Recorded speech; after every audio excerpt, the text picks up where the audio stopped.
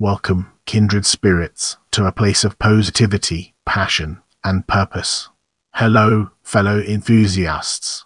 Today, we're diving deep into the fascinating world of Sharpe's Rifles TV program. Sharpe's Rifles is the first of the Sharpe television dramas, based on Bernard Cornwell's 1988 novel of the same name. Shown on ITV in 1993, the adaptation stars Sean Bean, Daragh O'Malley and Assumpta Serna. It began a long series of successful and critically acclaimed television adaptations of the novels. The drama tells the story of Richard Sharpe, an ambitious and hardened soldier from Yorkshire. The story follows the exploits of Sharpe and his band of chosen men through Spain after they survive an ambush by French cavalry.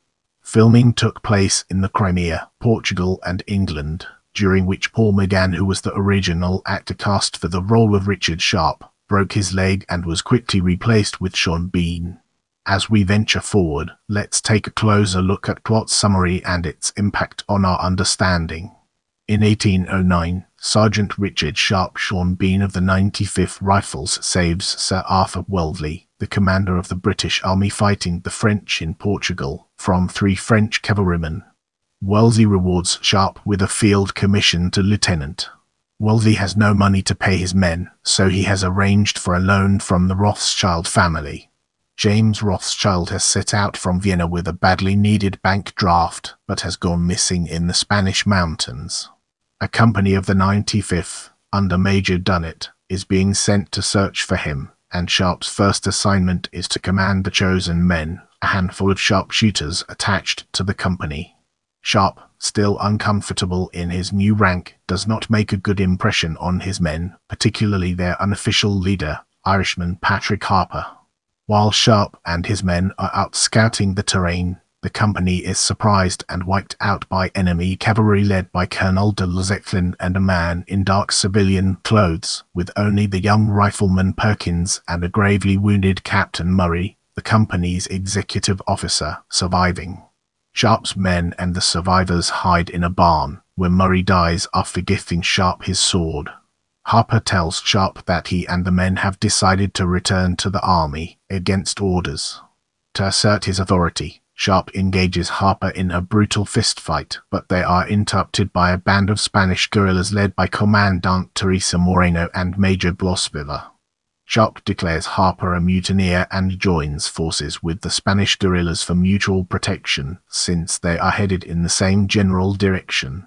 Sharpe begins to bond with his men and also with Teresa.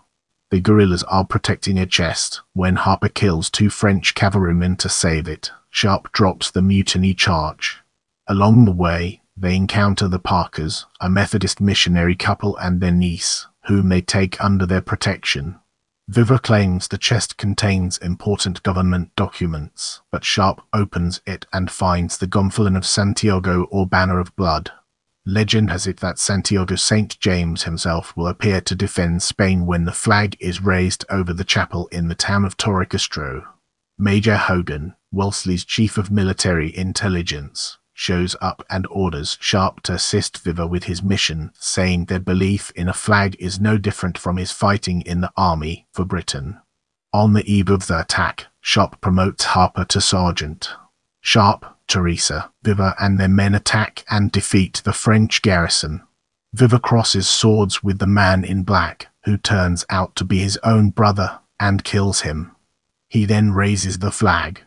At the end of the battle, Colonel De L'Eclin is about to shoot an unarmed Sharpe, but is shot and killed by Perkins.